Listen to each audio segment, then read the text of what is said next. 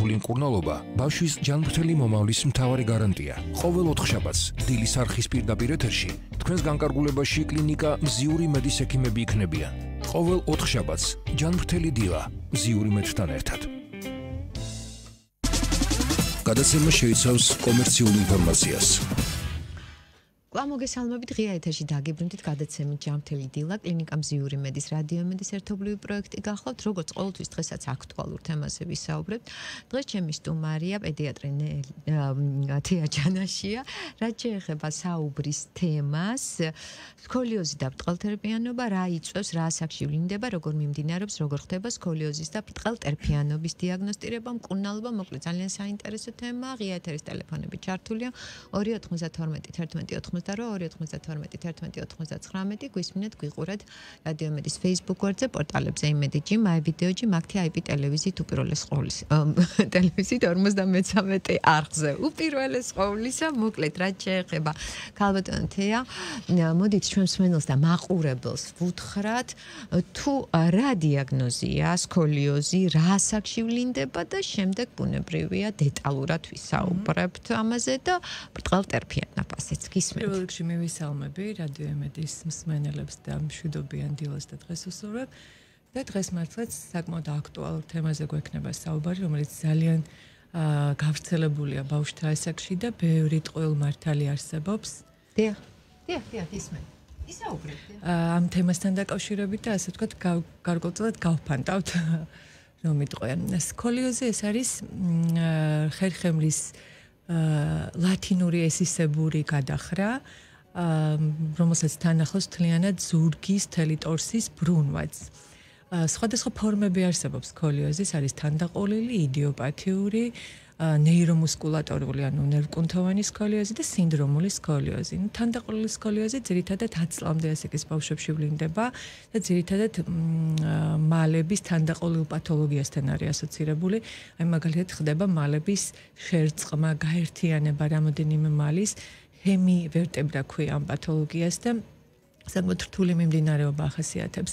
რაც შეეხება იდიოპათიურ სკოლიოს იდიოპათიური ნიშნავს რომ მიზეზი არ არის კონკრეტულად დადგენილი ის მოიცავს ძირითადი შემთხვევების 80-85%. საკმაოდ გავრცელებულია, თუმცა საიმედოდ მინდა ვთქვა ის რომ ამ პროცენტიდან დაახლოებით 10% საჭიროებს მკურნალობას და შემდეგ დაგეგმარებას სკოლიოზის ეს არის დაახლოებით მთლიანი პოპულაციის 0.3%. კი ბატონო. ხო. აა იდიოპათიური სკოლიოზის შეფასება რუტინულად ხდება ხოლმე. პირველად მას აღმოაჩენს მშობელი ან პედაგოგი ან რუტინული გასინჯვის დროს პედიატრთან ხდება მისი დაფიქსირება. ანუ პირველი კლინიკური ნიშანი არის ის, რომ ბავშვი არის მოხრილი, ხო? ასიმეტრიას რას ამჩნევს ახლა მშობელი ან პედიატრი? ამჩნევს ასიმეტრიას. ერთი მხარე არის, ვთქვათ, აწეული ზურგის ან მეორე დაწეული შესაბამისად, ხო? პირველ რიგში გასინჯვას ვიზუალურად ვაკეთებთ. ადამსის ტესტი ქვია ამ ვიზუალურ გასინჯვას, ანუ ბავშვი დგას ვერტიკალურ მდგომარეობაში, შეერთებული ფეხებით და ვთხოვთ რომ დაიხაროს რაც შეიძლება ღრმა, ესე იგი იატაკისკენ, ისე რომ ფაქტურად იატაკის პარალელური უნდა გახდეს ხერხემალი დაშვებული ხელებით. დიახ. ასეთ შემთხვევაში აღმოჩნდება ხოლმე თუ გვაქვს საქმე სკოლიოსთან, ერთი მხარე თქვა გულმკერდის არის ამოწეული, მეორე დაშვებული. ნეკნებთან ერთად, რა თქმა უნდა. ეს არის ზუსტად იმის დადასტურება ვიზუალური ხარისხით, რომ საქმე გვაქვს სკოლიოსთან. შემდეგ ხდება უკვე ინსტრუმენტული კვლევებით შეფასება სკოლიოზის, სკოლიომეტრი არის ასეთი ასე ვთქვათ, აპარატი, რომელიც ბრუნვის კუთხეს აფასებს და მისი დადასტურებით ხდება ის, რომ სწორედ აი როტაციულ ბრუნვით ბუნებასთან გვაქვს საქმე სკოლიოზის. თუმცა ის არ ემთხვევა ხოლმე მეტწილად აი ეს ოქროს სტანდარტი რაც არის სკოლიოზის მოწოდებული რენტგენოლოგიური შეფასების დროს კობის კუთხე ქვია მას არ ემთხვევა მის მონაცემს. პირობითად რომ თქვა სიტყვაზე სკოლიომეტრით გაზომილი 7 გრადუსი შეესაბამება კობის კუთხით გაზომილ 20 გრადუსს ეს რენტგენოლოგიურ მონაცემს. თუმცა ის გვაძლევს შემდგომში იმის მინიშნებას, რომ აქ აუცილებლად უნდა ჩატარდეს რენტგენოლოგიური კვლევა და მენეჯმენტი დაიწყოთ უკვე სკოლიოზის კურნალობა. შესაბამისად, შუბლებს ალბათ დააინტერესებთ ეს კითხვა და ამ კითხვაზე პასუხის გაგება თუ რამდენად გამოსწორებადია და შესაძლებელია თუ არა ადრეული ჩარევით, ადრეული ასაკიდან ეს იქნება ვარჯიში თუ რასახის კურნალობა ამაზე თქვენ გვესაუბრებით, საბოლოოდ ეს პრობლემა მოგვარდება თუ არა. დიახ. ეხლა ძირითადი ასპექტი რაც სკოლიოზის სკოლიოზის მიმდინარეობაში და კვლევაში არის ჩადებული ეს არის ადრეული დროული უბრალოდ გამოვლინება, დროული გამოვლინება, რადგან ბავშვის სწრაფი ზრდის პერიოდთან მიმართებაში ხერხემალი ბუნებრივია სწრაფად მატულობს და თუ გენეტიკურად ჩადებულია კოდი, რომ ეს ხერხემალი მიდრეკილია სკოლიოზისკენ, პროგრესირების მეტი შანსი არსებობს, ანუ სიმრუდის მეტი შანსი გვაქვს ამ შემთხვევაში და აქ უკვე დროულად უნდა მოხდეს სპეციალისტის ჩარევა. 10 წლის, აი პუბერტატული ასაკი, სწრაფიზის პერიოდი. 10 წლიდან გოგონებში მენარქეს დაწყებამდე ხდება აქტიური მეთვალყურეობა და ბიჭებში კიდე სადღაც 16-17 წლამდე.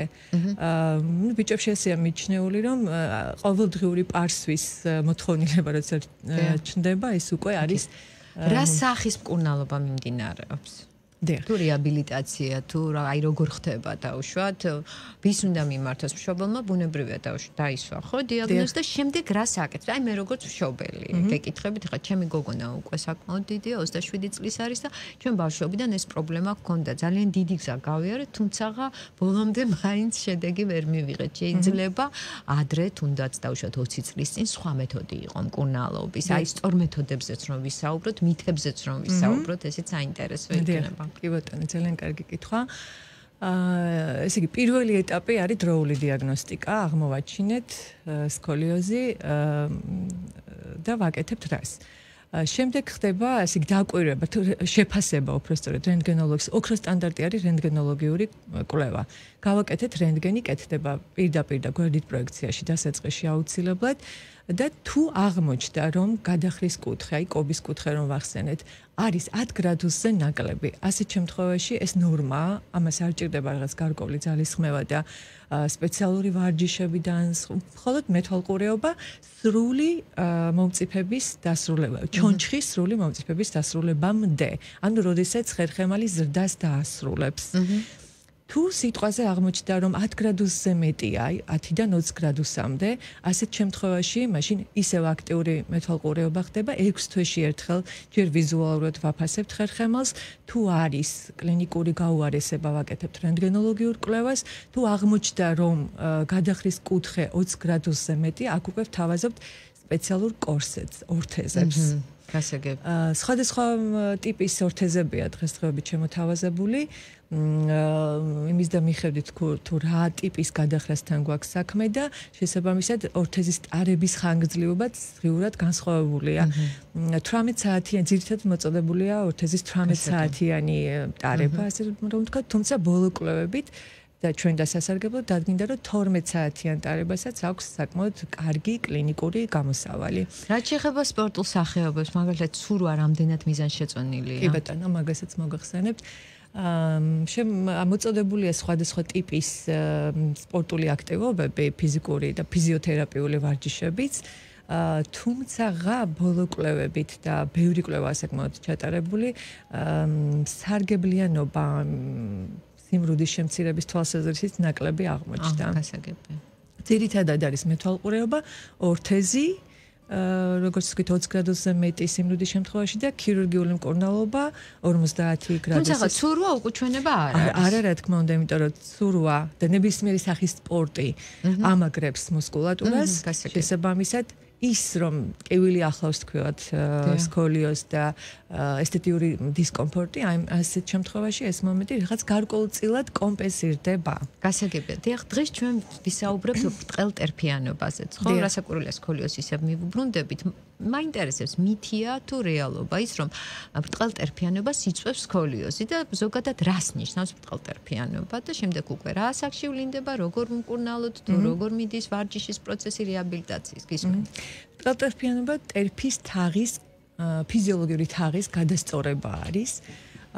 ის როგორც სკოლიოზის პრინციპში 10 წლის შემდეგ უფრო თვალსაჩინოა ხოლმე. აა ჩვენთან საკმაოდ ბევრი შემთხვევა მომისმენია რომ კურნალობენ ალტერფიანობას 6 წლამდე ასაკში.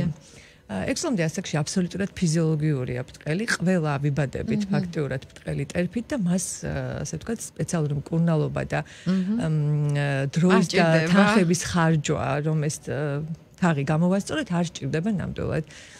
კი ბატონო, შემდეგ მე რა ხდება? რატო რჩება ზოგს ბრტყელი ტერფი? გენეტიკური ფაქტორების და გამო ზოგს რჩება ბრტყელი ტერფი, ზოგს ზოგიერთის თაღი ნორმალურ ფორმას უბრუნდება. მითია თუ რეალობა, რომ რაც უფრო მაღალია ადამიანი, მით უფრო ბემეტი შანსია ბრტყელტერფიანობის განვითარების. არა. აჰა, დავამსხვრიოთ ეს მითი, ხო? არ არის ეს მართალი კი ბატონო. როგორც გითხარით, გენეტიკურად არის პირობადებული და თუ რაც არ უნდა მაღალი იყოს პერსონა, თუ მისი ტერფიესია ჩადებული კოდი გენეტიკური ეს არ იქნება გადაბრტყელებული, მოკლედ გასაგები არის თუ არა მასში ბრტყელტერფიანობა სკოლიოსთან? გარკვეულწილად ყოველ შემთხვევაში. გარკვეულწილად არის, იმიტომ რომ აა ციმძიმის ცენტრი ბტყელტერფიანობის დროს არათანაბრად ნაწილდება სხეულზე, შესაბამისად იწვევს უფრო მეტ დისკომფორტს, უფრო მეტ ტკივილს. აქედან გამომდინარე, ასეც არის მოწოდებული, რომ ტყელი ტერფის მქონე პერსონას თუ აქვს ტკივილი, მაშინ უნდა გამოიყენოს სუპინატორიც შესაბამისად. თუ არ ანუ სუპინატორი ვერ გამოასწორებს თახს, მაგრამ ცხოვრების ხარისხს გაგვიუმჯობესებს. ტკივილის garaშე ცხოვრება იქნება. და რაც შეეხება სუპინატორს, თელი ცხოვრება თუ მაქვს დაუშვათ ბტყელტერფიანობა, თელი ცხოვრება სუპინატორი უნდა გამოვიყენო. ანუ ტკივილის შემთხვევაში თუ მას ტკივილის ახლავს, სუპინატორი უნდა გამოვიყენოთ მუდმივად. ანუ ბტყელტერფიანობა გამოსწორებადი არ არის, ეს რჩება მუდამ. კი ბატონო. კარგით, აი დავუშვათ თქვენ თქვით რომ 6 წლის ასაკამდე ყოველას გვაქვს ბრტყელი ტერფი. შემდეგ ხო, თუ ნუ ერთ-ერთი ფაქტორი მნიშვნელოვანი არის გენეტიკური, რაც აღნიშნეთ. თუ დავუშვათ 6 წლის მერე ვამჩნევთ რომ ბავშვს აქვს ბრტყელი ტერფი, შესაძლებელია აი იმ პერიოდში დასაწყისშივე ამის აღმოფხვრა და გამოსწორება რამე, აი სპეციალური სუპინატორით, მასაჟით თუ არა, ეს უკვე ჩამოყალიბდა და ასია მთელი ცხოვრება. არა, ვერ შევცვლით ვარჯიშებით, მასაჟით. ცურით. როგორც თქვით ეს ყველაფერი რაც ჩამოვთვალეთ არის ხელშემწყობი ფაქტორები იმისთვის რომ კუნთი დავიჭიროთ და მუსკულატურა გავაძლიეროთ რომ ტკივილი არ ახლდეს და კარგით გავიგე ხო დაძაბულობა დაძაბულობა არ ახლდეს ამ ყველაფერს. კარგით ტკივილის გარდა რამე დაუშვათ სხვა დისკომფორტს უქმნის თუ არა ადამიანს რომელსაც ბრტყელი ტერფია გრა უნდა გაითვალისწინოს როგორი ფეხსაცმელი უნდა ატაროს რამე საერთოდ უშლის თუ არა ხელ სპორტულ აქტივობებში თუნდაც მაინტერესებს დეტალური ინფორმაცია თქვენგან. აა 6 წლამდე ასაკში როგორც გითხარით რა რადგან ფიზიოლოგიურია, ერთადერთი მოთხოვნილება არის, რომ ბავშვს ეცვას მისი ზომის მყარძირიანი ფეხსაცმელი. აა აი ძალიან კარგი იქნება მაგალითად სხვადასხვა ზედაპირის მქონე აა ზედაპირებზე ასე ვთქვათ, გავარჯიშება ბალახიან მდელოებზე, ქვიშიან და მასეთი კი ბატონო, კი მიღებულია ესეც ეს მეთოდიც ერთ-ერთი. ძალიან ეფექტურია, იმიტომ რომ გავარჯიშდეს ტერფის კუნთი და არ შექმნას რაღაცა დამატებითი პრობლემები, დაძაბულობა ქვედაკიდურებში, ტკივილი და ასე შემდეგ, რომელიც გადაინაცვლებს ხოლმე უკვე შემდეგ ტორსის ზედა ნაწილებში, აი წელის და ზურგის კუნთების ტკივილსაც იწვევს. აი ეს ყველაფერი ეს არის ჯაჭურად მიბმული, მაგრამ ის რომ ტერფი ეს ფორმა გამოასწოროს სუპინატორმა ვარჯიშმა ან ცურვამ ეს არის მითი. ასევე მომისმენია რომ რაღაცა ერთი კონკრეტული სპორტული აქტივობა არის ხოლმე აკრძალული სკოლიოსთან დაკავშირებით. თქვა ცეკვას უკძალავე. ან ცურვას. ხოლმე ხერხემალს დატვირთვაო და არ შეიძლება. ასე იყო ყოველში წლების წინ. კი ბატონო, ეს მითია გარკვეულწილად. ნებისმიერი ფიზიკური აქტივობა არის მოწოდებული. მათ შორის ცურვიდან დაწყებული, ცხენზე ჯირითით დამთავრებული. კარგით, რა შეეხება ბრტყელტერფიანებს და რა შეეხება, ასე ვთქვა და რა შეეხება სკოლიოზის მქონე ადამიანებს. ორივე შემთხვევაში მაინტერესებს ძიმის აწევა, სიმძიმის შეიძლება თუ არა და განსაზღვრულია თუ არა კილოგრამი დავშვათ. აა სკოლი ის ეს არ არის სკოლიოსთან მიმართებაში მხოლოდ შეზღუდული. რადგან ბავშვის ასაკი 10-დან 14-15 წლამდე არის აქტიური ზრდის პროცესში აქედან გამომდინარე მეტი დატვირთვა მოდის სახსრებზე შესაბამისად აი ეს მომენტი რომ ტკივილი ავარიდო, დისკომფორტი ავარიდო, თაქნან გამომდინარე ზედმეტი დატვირთვა არ არის მიზანშეწოლილი ნამდვილად. ისევე როგორც სხვა შემთხვევაში, ან არასკოლიოზის მქონე პერსონებში. აი სახსრები ახსენეთ და მით უმეტეს, როდესაც პირველი პუბერტატიული პერიოდი იწყება, ხო, ნუ ორგანიზმში რასაკვირველია მიდის გარკვეული ცვლილებები, სახსრებს ლომა სისტემას უნდა რასაკვირველია გამაგრება თუნდაც რომ ამ პერიოდში რაღაცა არ მოხდეს, ხო? და აი მით უმეტეს, ვისაც ახლა სკოლიოზი აქვს, ვისაც ბრწყელი ტერფი აქვს, აი თუნდაც კვებასთან მიმართებაში დაუშვათ, არის თუ არა რამე ბმა, აი როგორ უნდა იკვებონ, არის თუ არა რაღაცა სპეციფიური კვება, რაღაცა ვიტამინები უნდა მიიღონ თუ არა ამ ადამიანებმა, აი უნდა კითხოთ ზომა სისტემას და კუნთოვანზეც, რომ თუნდაც მოხდეს გამაგრება ამ ყველაფრის, იმიტომ რომ ამ გარდატეხის პერიოდში ძალიან მნიშვნელოვანია, ხო, ფაქტიურად მე ყალიბდება უკვე 18 წლამდე თუ ზუსტად ვამბობ და თუ არ ვწდები, როგორც ვიცი, გოგონებში 18 წლამდე ვაჟებში, დიახ და ვაჟებში 23-მდე ამბობდნენ ყოველ შემთხვევაში, ნუ 20 წლამდე, რომ მანამდე მაქსიმალურად კარგად ჯანსაღად მოხდეს ამ ძლოვანი სისტემის ჩამოყალიბება, თუნდაც კუნთების გამაგრება. გისმენთ. ვიდრე კვებაზე დავიწყებდეთ საუბარს, ერთ-ერთ მიზეზად განიხილება ხოლმე სკოლიოზის განვითარებაში ზრდის ჰორმონის სეკრეციის დარღვევა და მათ შორის მელატონინის. ნუ მელატონინის სეკრეცია ხდება ღამით. და აქედან გამომდინარე, აი ძილს აქვს საკმაოდ ძილის ფაზა უნდა იყოს ძილს აქვს საკმაოდ დიდი მნიშვნელობა ძვალსახსროვანი სისტემის ჩამოყალიბებაში. რა თქმა უნდა, კვებასაც ბუნებრივია.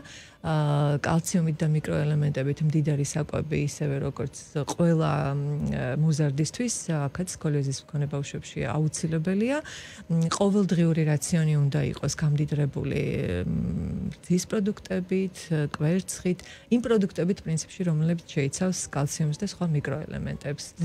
ბალანსირებული ჯანსაღი ჯანსაღ კვებაზე მაქვს ლაპარაკი. რა თქმა უნდა, კი ბატონო. იმიტომ რომ სითხესთან ერთად კარგავთ ამ ჩამოთვლილ ყველა მიკროელემენტს. დიახ, ჯანსაღი ცხოვრების წესი არის გარანტი იმისა, რომ ადამიანის პრობლემები თუნდაც მომავალში არ ექნება და ამას მშობლებმა განსაკუთრებით უნდა მივაქციოთ ყურადღება ბავშვობის ასაკიდან. ქაბოტანთია, რამის ხომ არ დაამატებდით? ან ამის კიდევ ხომ არ ურჩევდით მშობლებს და დავასრულებთ საუბარს. კი ბატონო, იქიდან გამომდინარე რომ დროულ დიაგნოსტიკას აქვს მნიშვნელობა სკოლიოზის შესაძლებლად, აუცილებლად ეს მშობელი იქნება თუ პედიატრი, დაიწყოთ დროული დათვალიერება ბავშვის 10 განსაკუთრებით 10 წლის ასაკიდან. როგორც კი პატარა გადახრას შევამჩნევთ, აუცილებელია უკვე სპეციალისტთან, პედიატრთან თუ ორთოპედთან კონსულტაცია, რომ შემდგომ უფრო მძიმე გართულებები ავი გავიცილოთ თავიდან. აი მაგალითად ორთეზები რო ვახსენეთ იქ, ორთეზის დროული გამოყენება სკოლიოს 20%-ით გვიმცირებს. იქიდან გამომდინარე, თუ მას დროულად ჩავრთავთ აი ამ გართულებასაც და ესთეტიკურ პრობლემასაც თავიდან ავიცილებთ. უფრო შორს წასული მეტი შემიძლია დავამატო უფრო შორს წასული შემთხვევები, აი როდესაც 50 გრადუს აღემატება გადახრის კუთხე გვაძლევს გულფილტვის კომპრესიას და ეს ერთ-ერთი მნიშვნელოვანი გართულებაა და ეს რომ ავირიდოთ თავიდან, ამიტომ დროულად უნდა დავადიაგნოსტიროთ ეს პათოლოგია. ანუ ასევე ძალიან მნიშვნელოვანია ნებისმიერ შემთხვევაში დროული დიაგნოსტიკა და რასაკურველია პროფესიონალთან, სპეციალისტთან ვიზიტი, კონსულტაცია. ძალიან დიდი მადლობა ესეთი საინტერესო საუბრისთვის, რეკომენდაციებისთვის, მე გისურვებ წარმატებებს. ჩვენი სტუმარი იყო თეა ჯანაშია, ეს იყო გადაცემა ჯამთელი დილა, კლინიკა მზივრი მედის რადიომედის ერთობლივი პროექტი. სულ ცოტა ხანში უკვე კახაგელაშვილი დაგვიბრუნდება სპორტის ამბები 12 საათზე დაელოდეთ საინფორმაციო სამსახურს თამუნა აფშილავასთან ერთად, ხოლო შემდეგ უკვე 13 საათსა და 15 17 წუთზე სულ მალე შემოგვიერთდება ესმა კუნჭულია გასტრონომით, მე კი თქვენთან რჩები 17 საათამდე.